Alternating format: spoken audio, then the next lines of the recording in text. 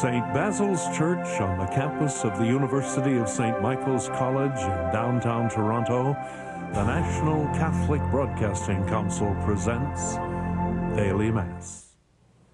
The televising of today's Mass is made possible by a contribution from an anonymous donor from Dieppe, New Brunswick. This Mass is offered for our priests and civil leaders, for all the children of God, and for a renewal of faith in our world. On behalf of everyone across Canada participating in this celebration, our most sincere thanks. In the name of the Father, and of the Son, and of the Holy Spirit, amen. The grace of God, the love of Christ, the fellowship of the Holy Spirit be with you all. Today we commemorate St. Agnes, an early Christian martyr.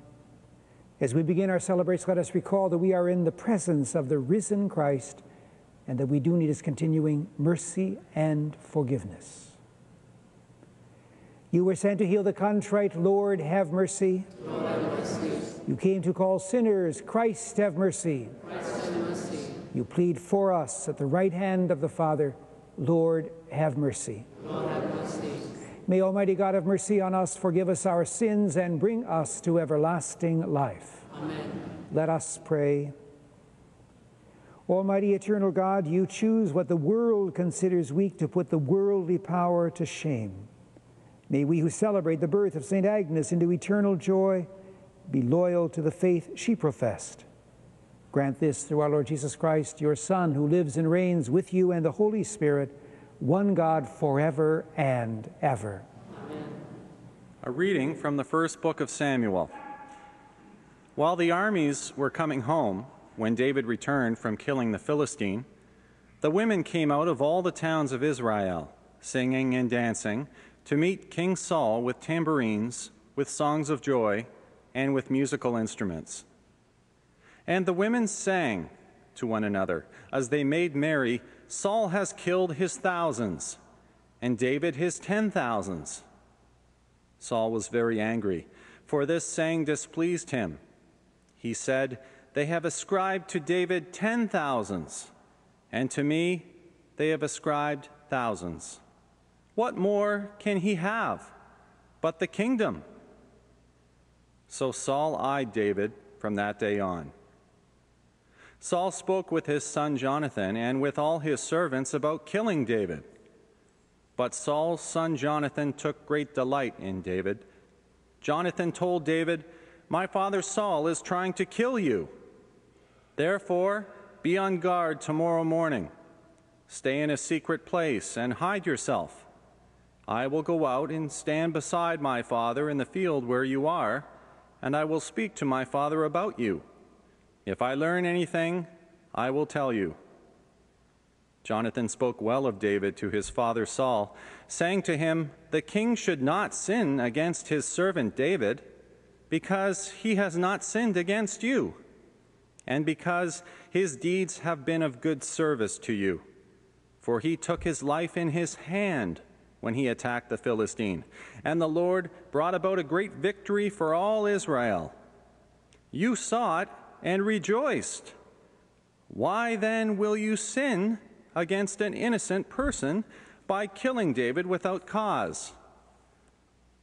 Saul heeded the voice of Jonathan. Saul swore, As the Lord lives, he shall not be put to death. So Jonathan called David and related all these things to him.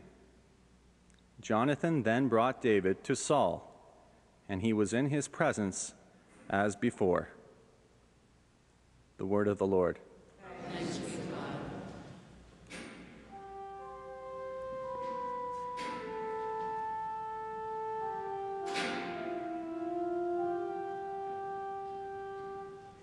In God I trust. I am not afraid. In God I trust, I am not afraid. Be gracious to me, O God, for people trample on me. All day long foes oppress me.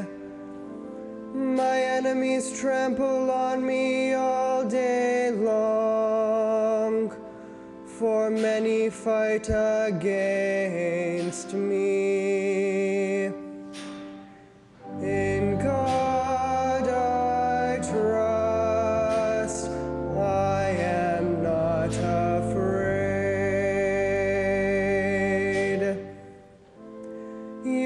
Kept count of my tossings, put my tears in your bottle.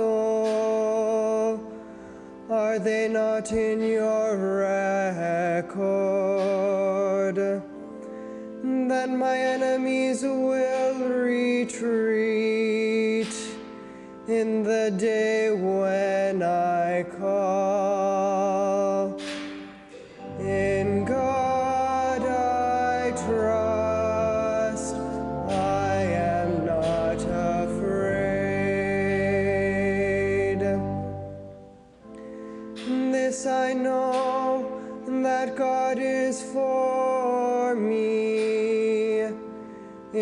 God, whose word I praise, in the Lord, whose word I praise. In God I trust, I am not afraid. What can a mere mortal do to me? In God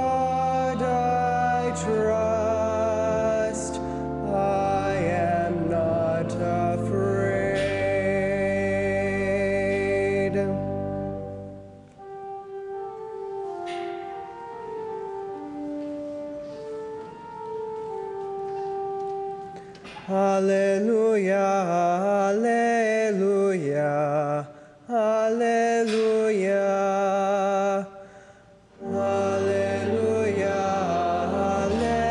hallelujah, hallelujah. Our Savior Jesus Christ has done away with death and brought us life through the gospel. Hallelujah,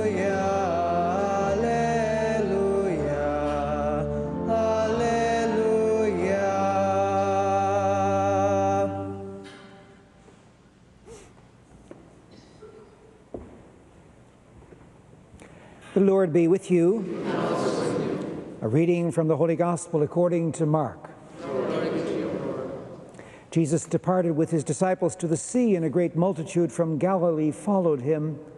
Hearing all that he was doing, they came to him in great numbers from Judea, Jerusalem, Idumea, beyond the Jordan, and the region around Tyre and Sidon. Jesus told his disciples to have a boat ready for him because of the crowd, so that they would not crush him. For he had cured many, so that all who had diseases pressed upon him to touch him. Whenever the unclean spirits saw Jesus, they fell down before him and shouted, You are the Son of God. But he sternly ordered them not to make him known. The Gospel of the Lord.